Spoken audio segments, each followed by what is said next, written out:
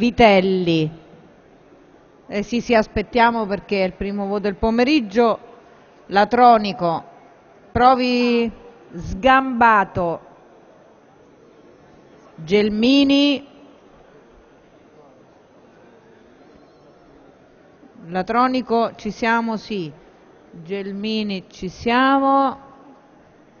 Non vedo altre mani alzate, mi sbaglio? Ferraresi, veloce veloce.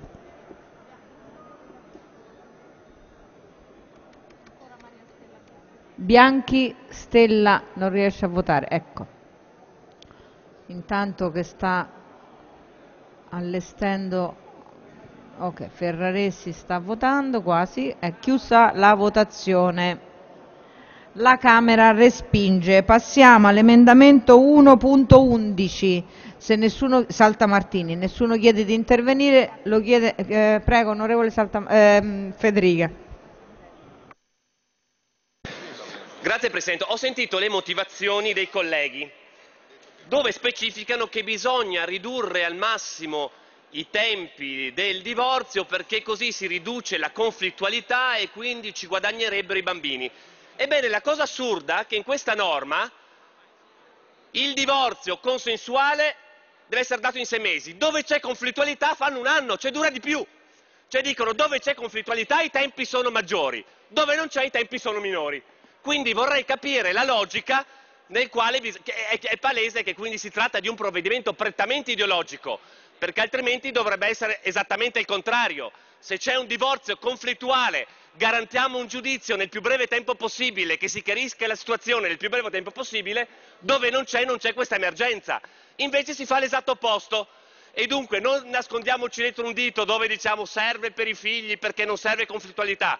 Il problema vero sta alla base che quando dalla sentenza di separazione alla sentenza di, del divorzio lo Stato, il pubblico, gli assistenti sociali hanno abbandonato la famiglia, per quello non, le, no, non, ci, non, si va a risolvere magari una situazione conflittuale, è stato abbandonato e quel tempo è, è stato tradotto eh, eh solamente in un'attesa della sentenza di divorzio e non in un tentativo di, di soluzione anche delle situazioni difficili perché così ci laviamo la coscienza, diciamo fate quello che volete, in qualità di Stato non c'è nessun problema, non vi garantiamo un aiuto.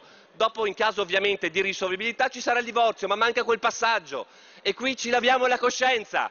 Diciamo fate tutto velocemente, ce ne freghiamo di voi, ce ne freghiamo di dare un sussidio, un aiuto, eh, un aiuto alla famiglia e oggi vi state lavando la coscienza. Io, io, personalmente la coscienza non me la voglio lavare e bisogna investire nella famiglia, non fare questi provvedimenti che non danno un euro per affrontare anche le situazioni difficili da carattere economico, che delle volte sono motivo anche di crisi familiare e invece diciamo eh, divorziate velocemente e siamo tutti a posto. Non ci sto a questa logica della società. Grazie. Grazie. È scritta a parlare la deputata Santelli. Prego, ne ha facoltà. Signor Presidente, credo che sia una grossa ipocrisia eh, parlare di minori, figli minori in relazione alla durata o meno della separazione in relazione al divorzio. Ipocrisia perché significa che noi riteniamo che due persone maggiorenni, adulte, che hanno la volontà e la decisione di coniugarsi, di avere dei figli, di avere una famiglia, poi non abbiano a loro volta la maturità per decidere di porre fine alla loro unione, non all'unione con i figli, alla loro unione, all'unione fra un uomo e una donna, che non c'entra niente con il vincolo della genitorialità, è un'altra cosa. Questo stanno dicendo i colleghi. I colleghi stanno dicendo voi, uomo e donna, lo Stato vi deve costringere a rimanere separati